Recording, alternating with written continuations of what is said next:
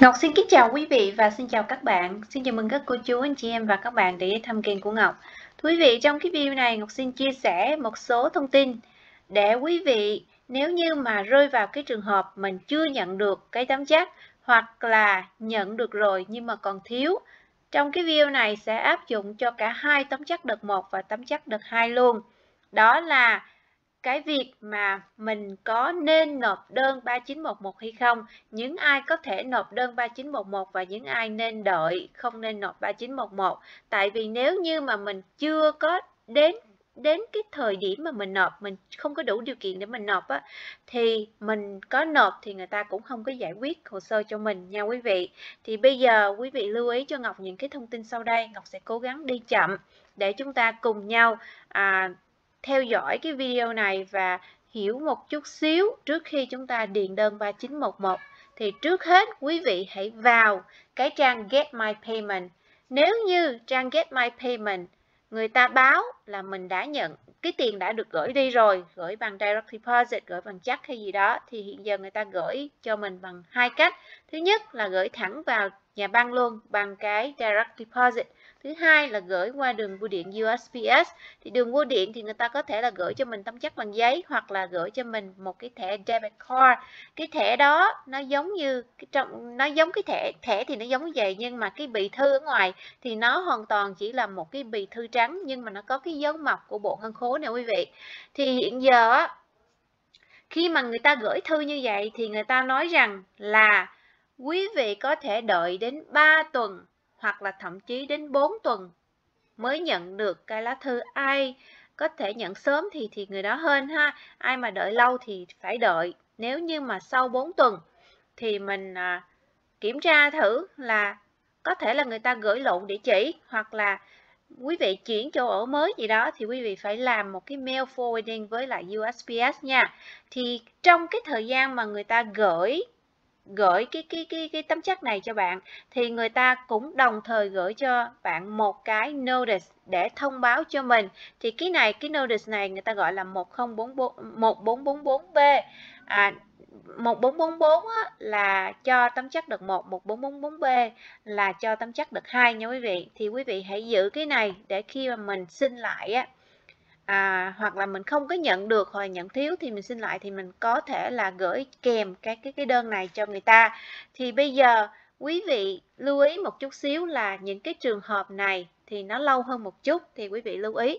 Ví dụ trường hợp thứ nhất là cái tài khoản của mình bị đóng băng hoặc là tài khoản của mình bị đóng hoàn toàn và mình mở một cái tài khoản khác. Và mình không có khai báo cái tài khoản mới, tài khoản mới này với sở thuế. Thì quý vị phải lưu ý là khi mà cái tài khoản cũ của mình bị đóng, hoặc là vì lý do nào đó người ta không thể chuyển tiền về tài khoản của mình, thì bắt đầu sở thuế người ta sẽ reissue, tức là phát lại cái tấm chắc này cho bạn bằng cách là gửi về địa chỉ nhà cho mình. Cho nên là quý vị hãy vào Get My Payment ngày hôm nay vào không được. Vào nó báo lỗi thì ngày mai 24 tiếng hồ sau vào lại nha quý vị. Thì đó là cái trường hợp đầu tiên. Trường hợp thứ hai, rất là nhiều người bị. Đó là gì?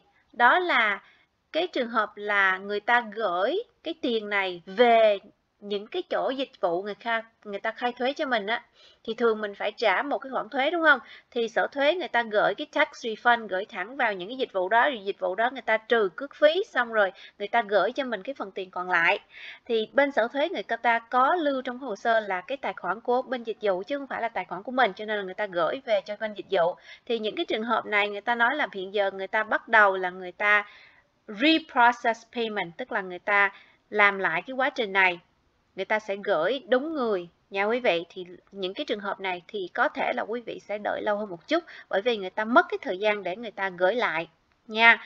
Rồi bây giờ à, những cái trường hợp mà quý vị có thể nộp đơn 3911 là những cái trường hợp sau đây. Quý vị hãy vào Get My Payment trước cho Ngọc nha hoặc là quý vị có trong tay cái notice 41444 cho tấm chắc đợt 1 và 1444 à, B cho nắm chắc đợt 2 thì quý vị phải lưu ý cái điều này. Nếu như quý vị vào Get My Payment, quý vị thấy là nó để là Direct Deposit vào cái tài khoản này vào cái ngày này nếu như mà kể từ cái ngày mà người ta lên lịch người ta gửi cho mình á cái ngày trong cái get my payment nó để là deposit á direct deposit thì 5 ngày kể từ ngày đó mà tiền vẫn chưa vào tài khoản của mình thì quý vị có thể điền đơn 3911 này quý vị gửi đi nha rồi, cái trường hợp thứ hai là dành cho những ai hiện giờ chưa lãnh tấm chắc đợt 1 thì quý vị có thể điền đơn 31 3911 gửi đi. Nếu như quý vị chưa lãnh tấm chắc đợt 2 à mà vào Get My Payment người ta nói là cái tấm chắc này đã gửi đi bằng đường bưu điện đã mail đi rồi vào ngày này này thì quý vị phải đợi sau ngày 24 tây tháng 2 quý vị mới có thể điền 3911 để mà mình xin lại cái tấm chắc đợt 2 nha quý vị. Rồi, cái trường hợp thứ ba, à, trường hợp thứ ba này á, là dành cho những ai mà đổi địa chỉ, chuyển chỗ ở và quý vị có đăng ký với lại USPS là cái dịch vụ là mail forwarding. Khi mà đăng ký như vậy á, thì bây giờ người ta nói là người ta à, cho người ta đến à, gọi là 6 tuần cho cái tấm chắc đợt 1 thì bây giờ tấm chắc đợt 1 mà quý vị vẫn chưa được thì quý vị có thể là nộp đơn 3911 hoặc là quý vị khai thuế quý vị xin lại nha. Rồi bây giờ nếu như mà tấm chắc đợt 2 mà bạn dùng mail forwarding mà quý vị vẫn chưa nhận được cái tấm chắc đợt 2 thì quý vị phải đợi đến sau ngày 10 tây tháng 3 năm 2021 quý vị mới có thể nộp đơn 3911. Nếu như quý vị nộp sớm thì người ta sẽ không giải quyết cho mình nhà quý vị. Còn đối với những cái địa chỉ ở nước ngoài à thì quý vị phải đợi lâu hơn một chút. À nhưng mà hiện giờ à, Ngọc không có có lẽ là không có ai mà ở nước ngoài coi kênh của Ngọc về những cái chương trình này. Nếu như mà ở nước ngoài thì quý vị có một cái hạn nó sâu hơn một chút xíu ha, nó trẻ hơn một chút xíu. Rồi, nếu như mà quý vị muốn trace payment mà không muốn điền đơn 3911 thì quý vị có thể gọi cho sở thuế bằng cái con số là 800 919 9835 nhưng mà quý vị ơi quý vị thử đi quý vị cho Ngọc biết là quý vị có gọi được không nha. Ngọc nghĩ là không có gọi được đâu tại vì cái mùa thuế rồi người ta bận lắm. Cho nên người ta có thể là người ta sẽ nói với các bạn là bây giờ đợi đến khi nào khai thuế rồi xin lại luôn. À, bây giờ mình gọi không được á thì mình điền cái đơn 3911 gửi đi. Điền đơn đây là cái cách mà người ta hướng dẫn nha. À, thì Ngọc sẽ dựa vào cái cách này để Ngọc chia sẻ cho quý vị cái cách mà điền đơn 3911 sau khi điền đơn xong thì quý vị sẽ gửi đi những cái địa điểm này tùy theo cái nơi mà quý vị ở. Ví dụ như quý vị ở những cái tiểu bang này, thì quý vị gửi vào cái địa chỉ này. Nếu như quý vị ở những cái tiểu bang này, thì quý vị gửi vào cái địa chỉ này. Nếu như quý vị ở những cái tiểu bang này, thì gửi vào cái địa chỉ này và tương tự như vậy, đây là những cái tiểu bang khác. Mỗi cái tiểu bang sẽ tương ứng với cái địa chỉ khác nhau một nhóm tiểu bang ví dụ những cái tiểu bang này thì quý vị gửi vào cái địa chỉ này nha quý vị. Đó đó tương tự như vậy cũng tương tự như vậy. Quý vị um, cứ cứ cứ um, so sánh đi. Ví dụ như là ở đây Ngọc thấy ở Virginia nè Virginia thì gửi về cái địa chỉ ở Georgia nha quý vị. Rồi bây giờ cách cách mà điền đơn 3911 á, thật sự nó rất là đơn giản quý vị ơi. Quý vị lưu ý những cái điều sau cho Ngọc nha thì cái đơn 3911 á, nó có hai trang. Thì quý vị, cái trang đầu tiên nó sẽ bắt đầu bằng những cái chữ này. Thì cái phần này quý vị không có cần điền gì hết nha quý vị. Ngọc đọc kỹ lại rồi. Cái phần này thật sự quý vị không cần điền gì hết. Hoặc là nếu như mà quý vị đọc qua mà quý vị cảm thấy là nó phù hợp với trường hợp của mình thì mình điền. Còn nếu như mà quý vị chỉ muốn xin lại cái tấm chắc đợt 1, đợt 2 thôi thì quý vị điền ở trên này là EIP1 cho tấm chắc đợt 1. Nếu như quý vị tấm chắc đợt 1 nhận được rồi, chỉ cần xin yêu cầu người ta trace cái tấm chắc đợt 2 thôi thì quý vị để đây là EIP2. Đó.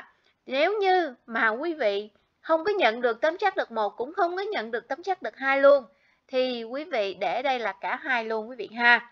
Thì bây giờ mình đi tiếp theo cái phần section 1 đó quý vị thì mình lưu ý những cái địa điểm à, những những cái cái cái điểm này thì bây giờ cái phần 1 á, cái section 1 là mình điền họ tên của mình, số social của mình nha quý vị. Ở đây là số social.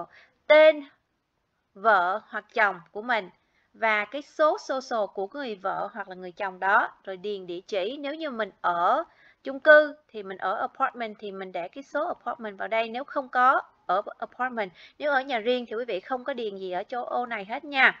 Rồi bây giờ cái số điện thoại thì quý vị cho người ta cái số điện thoại nào mà người ta dễ liên lạc với mình và cái ô này mình để cái mã khu vực. Ví dụ như mã khu vực của của quý vị là 211 chẳng hạn. Rồi cái số điện thoại là là bao nhiêu? À, ok quý vị ha. Rồi bây giờ ở cái phần số 4 này nếu như mà những cái thông tin bạn khai cái phần này nó khác với những cái thông tin mà bạn khai trong cái hồ sơ thuế.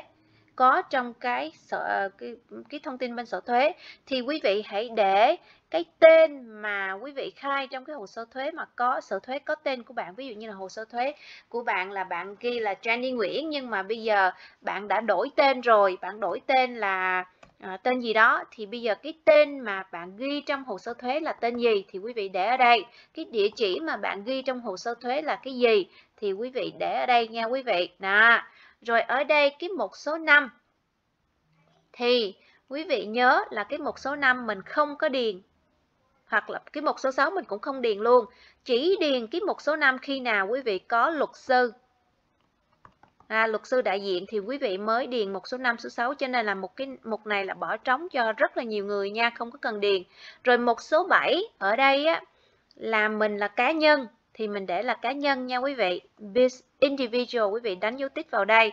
Và đặc biệt Ngọc quan tâm. Dạ, Ngọc Ngọc uh, xin lưu ý những cô chú nào mà lãnh SSI, SSDI hoặc là không có khai thuế. Ví dụ như là mình là người không khai thuế hoàn toàn không khai thuế mà mình vẫn chưa nhận được tấm chắc đợt 2 hoặc là mình chưa nhận tấm chắc đợt 1 thì quý địa vị để mình là non-filers hoặc là để mình là SSI, SSDI trong cái mục này others ok? Rồi cái chỗ mà tax period thì quý vị để là 2020 à rồi cái chỗ này tie up refund requested. Vì bây giờ nếu quý vị muốn người ta gửi tấm check về cho mình, thì để đây là check. Muốn gửi direct deposit, thì để direct deposit. Direct deposit thì nó nhanh hơn, cho nên là nếu như Ngọc Ngọc sẽ chọn direct deposit. Rồi cái mục ở đây, amount, quý vị muốn xin lại cái tấm check ngàn hai thì để ở đây 600 thì để ở đây. Cái số tiền mà quý vị muốn xin lại là bao nhiêu thì để vô nha. Rồi ở đây, cái date filed mục này để trống nha Ngọc nha, để trống không có cần ghi gì hết nha quý vị. Rồi bây giờ, cái mục 1 đã xong rồi, cái phần section 1 này đã xong rồi. Section 2 ok. Section 2 nó dễ hơn một chút xíu. Đó, thì ở cái câu hỏi số 8 là mình nói là mình chưa có nhận được, ha nha quý vị, chưa có nhận được. Thì cái mục 2 này á, thì quý vị đọc hiểu nếu cái trường hợp nào áp dụng cho mình thì mình ấy còn nếu như mà mình nhận rồi nhưng mà cái tấm chắc này nó bị mất rồi mình chưa có kịp à, uh, cast tiền ra thì cái tấm chắc nó bị mất rồi hay là nó chó gặm hay là gì gì đó quý vị. À, thì quý vị cứ để vào đây mà thường thường chắc à, là mình chưa có nhận tiền thì mình bấm cái nút ờ, mình đánh dấu tích vào đây ha.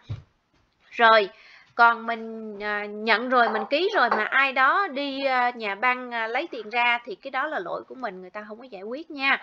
Rồi ở đây nữa là à, nếu như mà quý vị nhận cái lá thư mà bên sở thuế người ta gửi cho mình á, cái notice 144 à, 1444 à, dành cho cái tấm chắc đợt 1 và nếu như mà quý vị nhận cái notice 1444B cho cái tấm chắc đợt 2 tức là cái lá thư đợt 1 á, là có cái chữ ký của Tổng thống Trump này, đợt 2 không biết, Ngọc chưa có nhìn, Ngọc không thấy, ngọc không biết.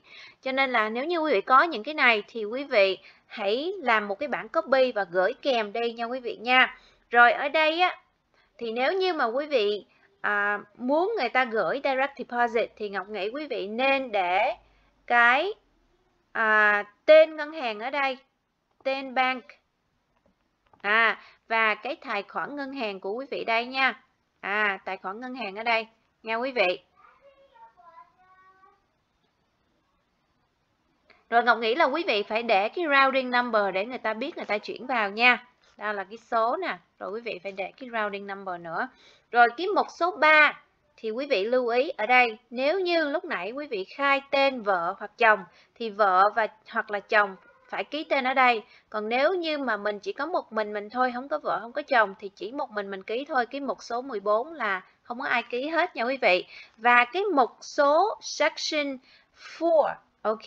Cái mục số 4 này á thì quý vị không có làm gì hết. Cái mục này là dành cho sở thuế nhân viên sở thuế người ta điền. Mình không có điền nữa nha quý vị. Tới đây tới cái mục 1, mục 2, mục 3 là xong rồi quý vị. Nếu như có cái um, cái lá thư À, uh, 1444 hoặc là 1444B thì quý vị gửi kèm cho người ta còn không có thì thôi thì à, bây giờ à, quý vị lưu ý nha nếu như mà quý vị chưa đến hạn để nộp thì quý vị đừng có nộp và nếu như quý vị không biết là mình có đủ điều kiện hay không thì Ngọc sẽ để một cái đường link để Ngọc chia sẻ cho quý vị để để quý vị có thể vào cái video mà Ngọc chia sẻ là ai không đủ điều kiện để lãnh ký tấm chắc à, đợt 2 hoặc là đợt 1 thì quý vị có thể xem tham khảo thêm ha. Hẹn gặp lại quý vị trong những cái video tiếp theo. Bye bye now.